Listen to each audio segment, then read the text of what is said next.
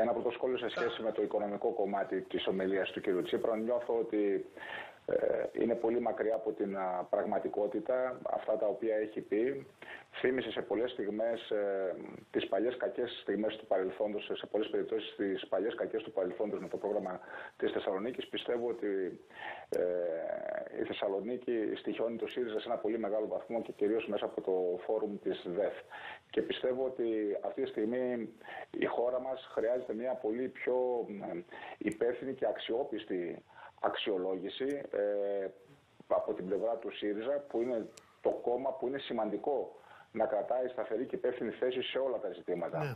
Οφείλω να πω ότι και στο ζήτημα ε, της εξωτερικής πολιτικής, σε μια πολύ κρίσιμη κατάσταση για την χώρα μας, ε, θα ήταν πολύ καλύτερο να αποφύγει αυτούς τους υπενιγμού ο κ. Τσίπρας σε μια τόσο κρίσιμη συγκυρία όπως είναι αυτή που βιώνουμε τις τελευταίες εβδομάδες και αυτές και, αυτές τις, και αυτή τη συγκυρία που θα βιώσουμε σε λίγες μέρες.